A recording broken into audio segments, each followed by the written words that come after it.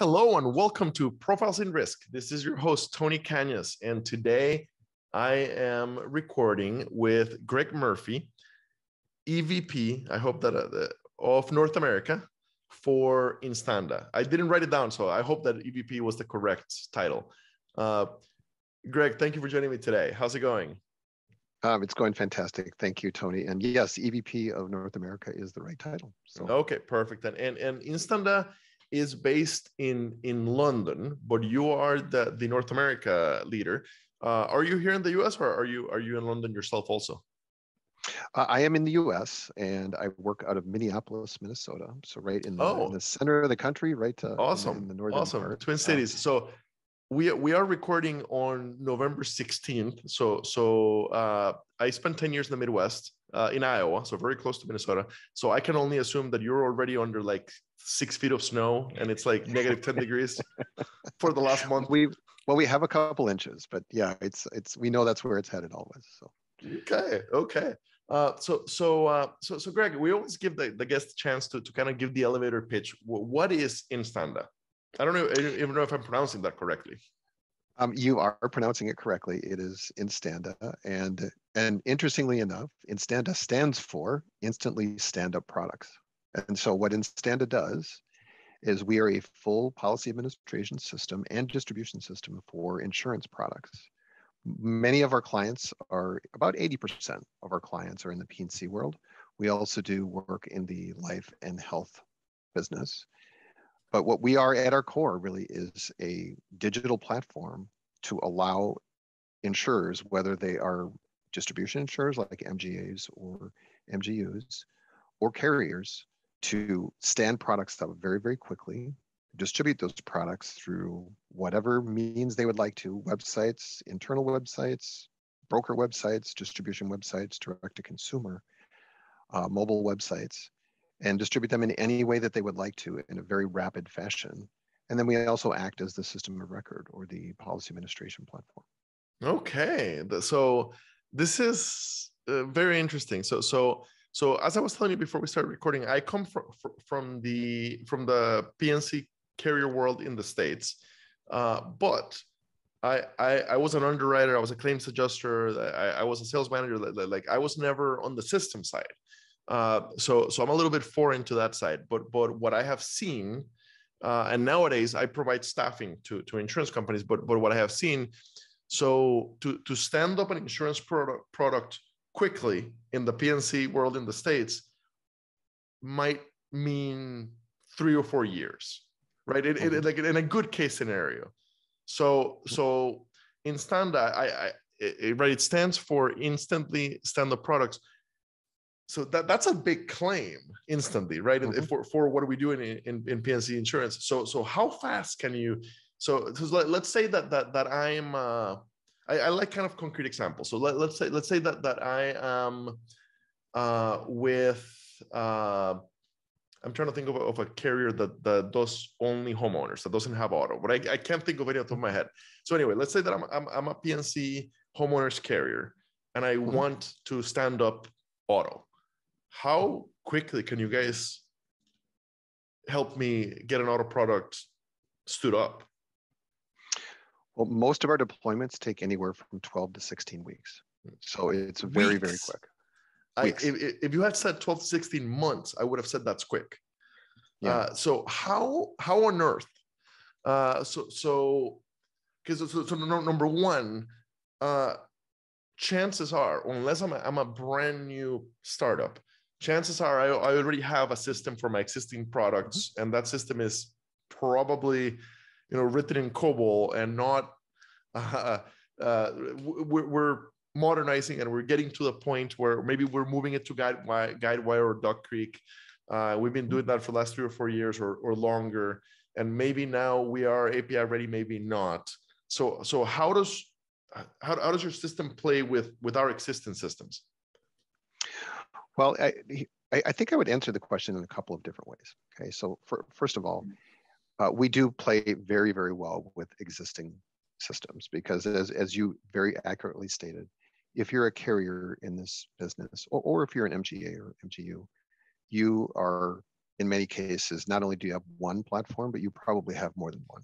Uh, the last, I, I, come from the carrier side that, that as well. The last carrier that I worked for had 32 policy administration uh. Uh, when, right? when so, I I was at a very large carrier, uh, and I I won't say the name, but but but uh, they were when I left, they were working through integrating over a hundred personal lines uh, platforms into Guidewire when I left, and it's taken ten years yeah, uh, because they had bought other companies and never switched the platforms. Right. So so so just to, to just to finish the thought here. So what I, I said that I would answer the question in a couple of different ways. So the first way is we, we do exist very very well with existing systems, and I would say that we kind of come alongside those systems and we do a lot of the what i would say the kind of the front end part of that so a lot of the the underwriting journey the rating the quoting uh, binding and when it comes to the issue part of it depending on the strategy of the company we can either hold that new policy and, and actually be the system of record or we can hand it off to an, to an old an old or legacy system and it just depends on, on the client's needs so that, that's one way i would answer the question um, the other way is that it's pretty common for us to hear from a carrier, hey, we just spent four years on a, a journey with a, a, you know platform of choice, right? We just finished a large deployment, uh, and now we want to put a new product out.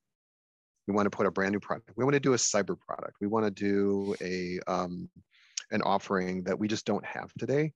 And I went and sat down with the very exhausted project team that just finished this four-year journey and they said and they said oh my gosh one more product we could maybe get to that within the next year and, and right? uh, a quick parenthesis the, the, the four year project was a two and a half year you know 50 million dollar project that ended up being four years and 80 million uh it's I, I didn't want to say that but you know that is that is reality sure yeah right they're, they're exhausted right um but this is but this is reality i mean this is a, a, lot of the legacy systems that are out there right now, or, or even what I would call kind of the modern legacy systems, um, big logos that are out there, they're they're great systems. You know, I, I oftentimes I call them aircraft carriers. They are. You know, they they they do a good job. Um, however, you don't always need an aircraft carrier, right? Sometimes you just need a cruiser and you need to get a product out. Um, it doesn't mean that the insurance product itself is any less sophisticated. Uh, insurance is still complicated. We haven't resolved that, right? Mm-hmm. So, um, but we are, what we are able to do is because of the way our technology works, we um, we are able to very very quickly get that product up and running with whatever rules that you have, whatever underwriting journey you have, whatever rating process that you have, and get it out into the market because we not only do the administration, we also do the distribution. And um, the other thing I would point out, Tony, is that, uh, and I, I, like to tell this story. It's actually one of my one of my favorite stories to tell is that what the reason that we can move so quickly is that if you think about the way current or, or legacy or modern legacy uh, platforms are in the insurance business, the way that they grew up, they started in the back office. Okay, so so just think of any typical policy administration platform. What it was really designed for originally was to make sure that when that insurance application came in, that all the rules that you needed to apply to that insurance application were applied. And then you need to make sure that you store that policy and you store it appropriately, right? And all those pages come together and come together in the fashion that they need to come together to put that contract out. That's what they were designed for, is to really automate that back office. And so what's been happening over the last, let's just say five years, is a lot of these legacy providers have been trying to extend those rules out to the front end to really get product out to different markets, right? Whether it's direct to consumer or just different, different um, uh, brokerage environments. And so what, what, what has ended up happening is you kind of take this legacy mindset and you try to extend it out to the front end. It just doesn't work very well, right? The way Instanda works is exactly the opposite. We start on every project with the front end. We start with who is the end customer whether it's a broker, uh, an agent, a carrier, or a direct to consumer, who is the end user of this particular situation? And let's design that. Let's design what that looks like. Then we'll design the underwriting rules and the underwriting questions that you want to be in that experience. And from all of that great work that you do in a conference room on a whiteboard, your back office actually gets pulled together and gets designed for you, and then the data model is created. Right. So we we take the we flip the model that's out there today on its head. And rather than starting in the back office with a data model you're trying to fit into, we start with the end user experience, design it, and go backwards into the back office. And that's how we're able to move so quickly. And not, not only can you move quickly, but but that's also gonna gonna solve the biggest problem we, we have with, with the way that people interact with insurance, which is that that we are product focused when people are looking for for companies that are customer focused right? Because they become used to mm-hmm. to amazon and and and and, uh, and google and, and companies like, like like that being completely customer focused uh, and it's so hard for us to act in that way because everything's designed around the product. Right. That, that that's exactly right. And you know there, there's as i stated earlier I, I don't want to be flippant and say that we've we've simplified the insurance business because we haven't. Insurance is still extremely complicated, and um, and when you when you get into the the weeds on some of the administration of insurance, we don't take it lightly. Um, you know, there's there's still a lot of of uh, when you think about an insurance product, there's a lot of details on getting that product approved, right? If if some of that content is is through one of the bureaus like ISO or or NCCI or or um, um, AAIS, you know, that that's that's a whole different ball of wax. I mean, there's a lot of work there that needs to be done prior to being able to actually get it in a system and and, and get it uh, in front of your customers. So I don't want to I don't want to downplay the fact that it's still complicated. However, um, for those insurance companies that are prepared and are ready with that content, uh, it is we can move very very quickly. And when you compare it to the legacy thought process, it's it's just a night and day experience for our clients. Okay, and and um, what what's the what's the story of the, of the company? How how did it come to be? I was looking at the website. I, I see that you guys went through plug and play, uh, but, but how how how did the idea come and and, and kind of how did it grow from, from idea to to reality? So the original idea of Instanda came from uh, two executives at Hiscox in London. So our two founders, they um, they were were COO and CIO of Hiscox about a decade ago, and they dealt with all of the complexity that I just mentioned. They they themselves owned multi multi million dollar budgets and huge projects and and um, you know dec or sometimes decade long projects of being able to implement these large platforms and they just got hired of having to over and over again deal with these massive overruns in projects and this massive complexity it, for in many times areas they just didn't need it right? So um, so they got together and said look we want to invent something that just takes this concept and simplifies the execution of it. Uh, super smart guys. And they created initially a consulting company to try and help insurance companies figure out how to do this, even within their own platforms. But after doing that about a year or two, they said, look, we just need to create the platform of the future because it doesn't exist. And so that was the birth of Instanda, was really to get that front end process, that customer experience done first. And then we started building into the back end. And and then of course my story, I actually worked for a carrier and my role was to find uh, really to have a strategy for all the platforms that were out there and, and have a strategy by product line. I discovered Instanda through a product search when I was working for a carrier. And I was I challenged a project team to get a brand new product up in six weeks using Instanda. And we went from the whiteboard to production in six weeks. At, a, at a traditional at, a, traditional, traditional carrier, carrier, in the US. How big of a carrier? Yes. Um, that carrier is six billion. Right. Okay. Okay. So, so so so a super regional. Super regional is a good way to put it. Yes. Okay. So um, so we we did our first product from whiteboard to production in six weeks. Yeah, that, that's and I had never amazing. seen anything like it. Yeah, I had never exactly. seen anything like it. exactly. And that, so that, within a normal with a traditional carrier, that's amazing. and so after doing a few more of those, then I um, I was hooked, and I had gotten to know the CEO throughout this whole process. And we sat down over dinner one night, and he said, "How would you like to change the world for um, insurance in the U.S.?" And I said, "I am all in," and um, and have, have, haven't looked back since. Perfect. So so so it is. So Instanda is is not one of those early insurtechs that were a tech toy looking for an insurance problem, looking for an insurance nail, right? A, a tech uh, hammer looking for an insurance nail. It, it, it came from, from people that, that understood the industry uh, at Hiscox. Uh, now, from the British perspective, but still. Uh, and, and, and then uh, you yourself uh, were a client first, a customer first, and, and, and that's uh, I love it. I love it. There's so many uh, of the uh, first round of insurtechs from five or six years ago that that unfortunately were just uh, you know a tech toy look, looking for for an insurance problem to solve, and and and it's been so hard for them, and so many of them just have not succeeded because of that because they just don't understand our weird, difficult, slow, heavily regulated industry. Um, so so that that's that's really fantastic. Um, so normally what, what I ask people is, is can, can you share a couple of stories of success here in the States? And you basically already shared one for, from, from your own for, former carrier. Mm-hmm. Um, sure.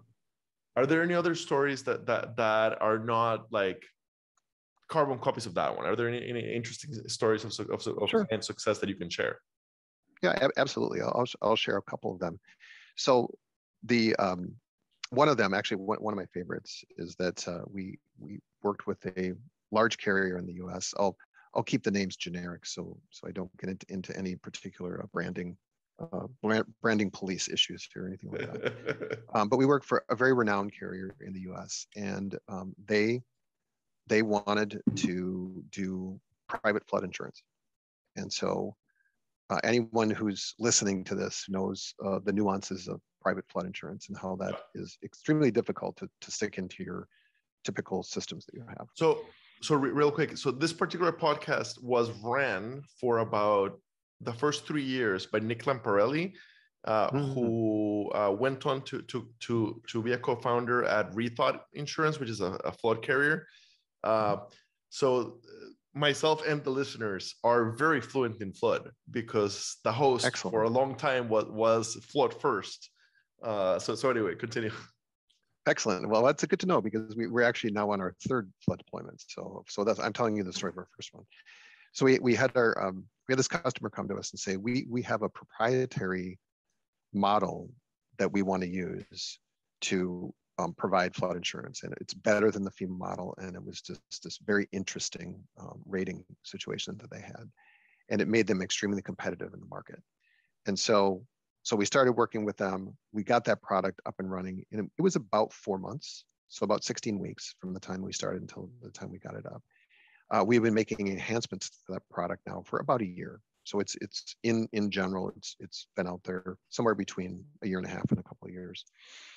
And um, and we have that that carrier then was acquired, and now um, we are the premier provider of private flood insurance for one of the largest carriers in the country. And again, I won't I won't um, mention the name, but uh, one of the top five largest carriers in the country, and we do all of their private flood insurance. And it all came from uh, an initial idea to a very very quick deployment to an acquisition to enhancements to make their customer experience amazing and that that's one of my favorite stories because it really shows the power of how quickly you can you can move with this. Um, i've got another one of my favorite stories because i just think it's really a cool concept. We we got a call not long ago. This was, it was less than a year ago. We got a call from a home security provider. So not not insurance people. They were home security system people. And they said you know we have this home security company and that uh, is very profitable for us. But we were thinking one day that we actually have all of the information about all these houses that we do security systems on. And we basically have everything an insurance provider would need to set up an insurance uh, policy. So what we would like to do is we're going to start our own insurance offering, and it's going to combine a home security system and and uh, home insurance. And so we'd like to use you as the as the technology to do that. So this company uh, has we did just this amazing product. This was not an insurance company. It was a com- complete disruptor, and we are now in production with them. After the, the, initial build was only a few weeks, we've been constantly tweaking it over the last year, but um, it was just amazing. So now they have a product in the market that is you can go online, you can purchase a home security system, and and along with the price of a home security system comes all of your homeowners insurance. It's fantastic. So in in in in a, in a, in a non-traditional case like that, an, a non-carrier, non-MGA entity that for whatever reason like this they, they have a perfect fit where it just makes sense for them to also offer this how do you handle the the the actuarial the compliance the filings. Uh, do you bring in a third partner to handle that piece or, or, or can you guys help with that piece well, it's it it kind of depends on where we try to meet the client where they're at. Okay, sometimes we have clients that come to us and they have that all figured out already. Um, since since really our entire leadership team, we're all insurance nerds too, right? So we we're all insurance people. So oftentimes, even myself, as even as an executive, I'm on some of the initial calls with some of these prospects, and I will ask them questions right up front to say, "Hey, have you thought about this? Are you done with that? What are you thinking about for compliance?" And if they if they don't have the answers to those questions, then we actually help them either um, hook them up with partners or hook them up with um, uh, other maybe in some cases other solutions that will take care of some of these things. I will say that filing is always the is always a question for us, right? Because if if a customer comes to us and is already they already have the whole product filing thing figured out, great. Then there's not much we have to do. If they don't, we might do a little bit of consulting with them and say, wait, why don't you, we'll work a little bit on the technology, but why don't you get, that's the long pole in the tent is the, is the filing. So get that done, right? Mm-hmm, mm-hmm, and then we will, we'll put, we'll, we'll put the technology on a bit of a slow burn until you get that done. And then when you get to this point, our deployment's only going to take about three months. So when you get to that, you know, T minus three month mark, then we'll start working on the technology. Sometimes that elapsed time for that is a year right? So they work on the product for nine months and then we do the, the last three months doing the technology. So it kind of depends. Perfect. Makes sense. So, so basically, if I'm understanding correctly, you can work with traditional carriers and MGAs. You can work mm-hmm. with insurtech MGAs or carriers. Uh, yes. And uh, you can work with the non-insurance entities that, for whatever reason, uh, want to play in this space and and have a good reason to play in this space right? Yes. are, are, sitting on, on on data that that that would make a lot of sense to to go into space. Fantastic. Fantastic. Yes. I, I, like it. I like it. Uh, and, and uh, look at the website. The website has lots of information and great information. And it looks like like you can request a demo right from the website uh, so that's yes. probably the the easiest because normally what, what, what, what I say is I'll tag you on LinkedIn uh, when it goes live. And what's the best way to get a hold of you guys? But but uh, with the request a button or request a demo button on the website, and the website is uh, instanda.com, mm-hmm. uh, and it will recognize that you're in the states. Uh, this is it for me, and and, and then you'll be able to, to look at everything and request a demo from there. So, so fantastic. So uh, thank you very much for, for, for your time today, for, for coming on the podcast. It's been very interesting. I had no idea that, that uh, anybody had the ability to, to launch an, an insurance product for a third party uh, in eight to 12 weeks or in 12 to 16 weeks. Uh, that's fantastic. And I, I think that a lot of the audience will love learning that. Uh, so so so yeah, thank you very much, and I, I, look forward to see what what you guys do as you continue growing in the states. And uh, love to have you back as as as the company evolves and and you start doing other things in the in the future. Okay, great, Tony. Great to meet you as well. And um, and if anyone in the audience would like to know more, please reach out to us, and we'll be happy to uh, engage with you. Awesome. Thank you very much. Right. Thank you. Bye bye.